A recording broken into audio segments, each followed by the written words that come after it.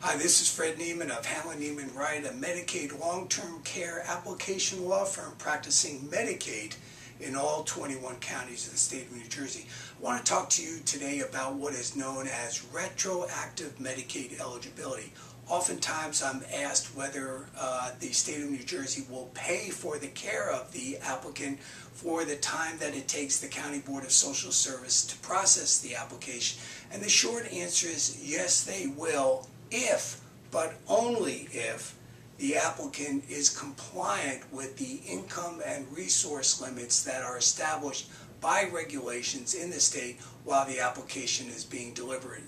deliberated. So, if you're about to file an application and you're concerned that you won't get the application in soon enough, and there will be bills owed to the provider of long-term care in months prior to actually filing, take comfort in knowing that the state of New Jersey will pay the facility up to three months prior to when you file the Medicaid application and you will not have to go to out of pocket to pay for that care.